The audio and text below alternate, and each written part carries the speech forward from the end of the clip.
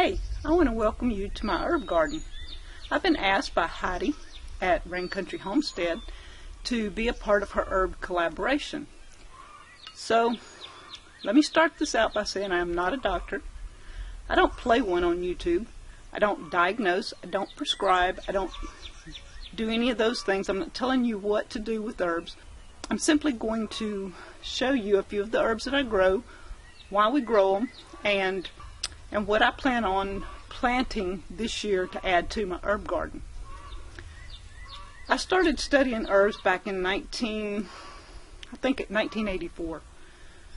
I love plants and I really got into it. I started um, with an herbology course through Herbal Healer, and that um, I really like Dr. Mariah McCain. It's herbalhealer.com, or through the mail, I guess you would say, a mail order correspondence course. A lot of great knowledge there. Uh, I went on to become a natural health consultant around 1990, 91 maybe, and even started selling quality herbs through a company. But coming here to Deep South, Danny allowed me to turn this into an herb garden. This was a daylily bed. I dug all the daylilies up. He constructed the white picket fence around it, and last fall uh, in 2015, I turned this into a herb garden. Um, all last year I had all amounts of herbs, but now we need to do some maintenance. Right here, I don't even know if you can see it, but the oregano has got a lot of, I guess you could say, dead limbs. It's got to be trimmed back, and uh, I'll have oregano. Here, this was sage. I'm going to cut it back. I'm not sure if the sage I planted will come back or not, but we will see.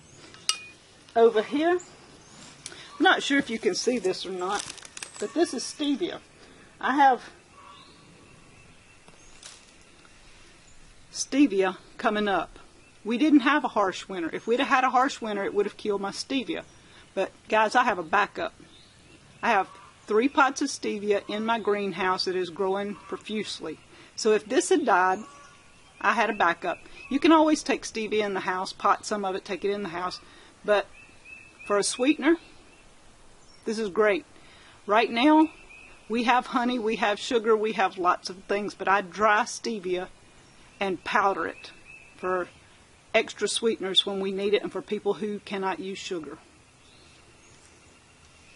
Right here is my thyme. Thyme is doing really great here. I had it in another location. Thyme wasn't growing very well. But it's doing great here. I have, as you can see, rosemary. Um, on the other side, I have sage, different types of thyme.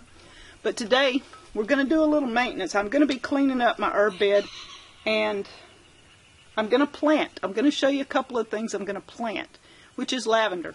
I'm going to use the Homestead Iron, this trowel. This thing is awesome, guys. Danny did a um, review on the Homestead box the other day. I went and snuck this out of the greenhouse just to use. It's really sharp. We're going to try to see what it does when I dig for my lavender. Okay, one thing I found that grows really well here is the fern leaf lavender. I'd never seen one before till last year. I've tried the other lavenders and I'm going to try it again this year. But the fern leaf, I still have some growing now. And we're going to see, if it gotten cold again, I'm pretty sure it would have disappeared. But um, we're going to see if this won't work real well for us this year. So I'm going to plant that here. And like I said, I keep trying the regular lavender. I bought one of these too, and oh, it's smelling really good here. Heidi from Rain Country sent me some lavender yarrow soap. That stuff's awesome, guys. You can dry this lavender, you can make soaps. I have yarrow growing in the backyard, so I have a wide variety of things here. We're going to plant this one in the other side of the bed. And this thing's working great cuts right through roots. This pot is made to go in the ground, but I like to take it off because as you can see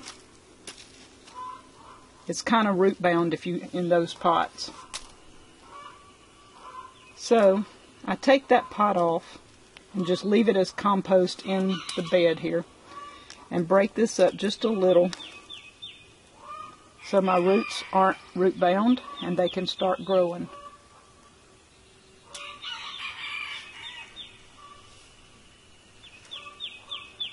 And I don't want to cover it higher than it was in the pot. I want to leave that little bit sticking out and water it in a little while. I have these clippers. They were sent to me last summer. You can clip all this dead out. These things are great for these little bitty tender herbs. You guys will love a pair of these for snipping in your herb garden.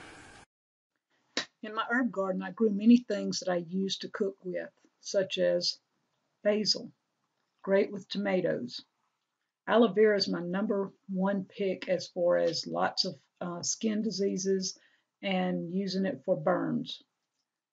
Here we have lavender, makes great teas. Then the thyme, it just grew everywhere this year. It looked really great.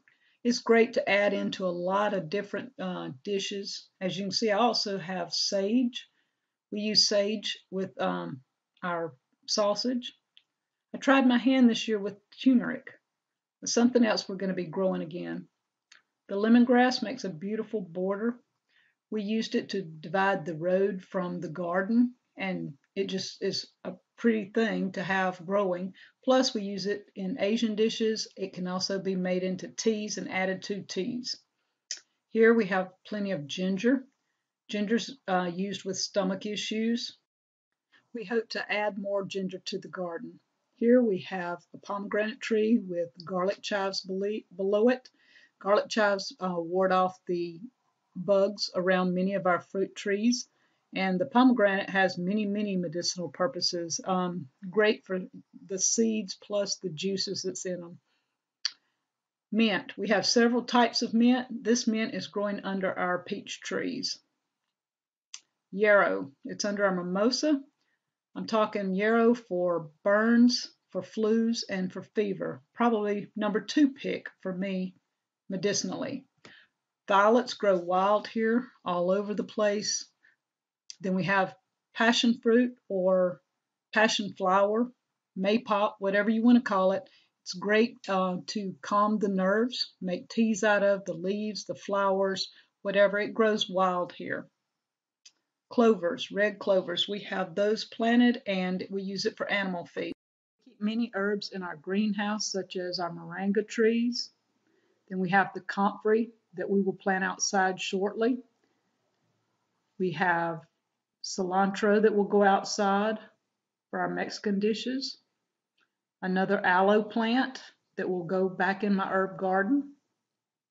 We have stevia and purple basil. No homestead would be complete without a good herb library. These are a few of my top picks here that I have. These six are the best books I found to get you through Herbology 101 maybe.